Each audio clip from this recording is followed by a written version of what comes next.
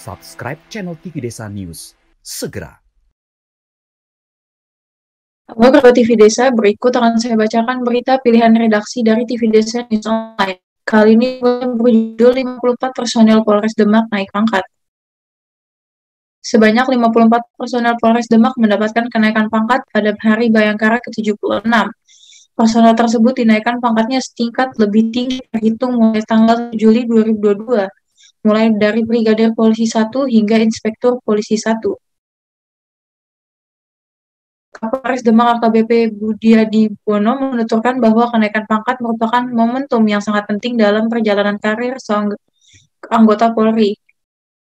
Menurut Budi, meski kenaikan pangkat merupakan momen bahagia, di balik semua tentunya ada konsekuensi tugas dan tanggung jawab yang lebih besar untuk diemban. Lebih lanjut, Kapolres Demak menuturkan bahwa kenaikan pangkat merupakan salah sebuah amanah yang sangat tinggi nilainya.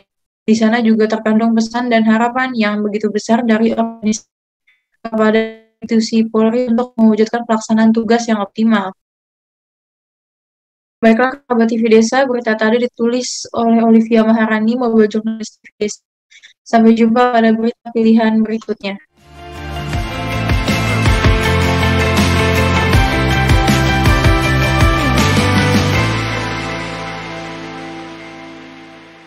Subscribe channel TV Desa News. Segera.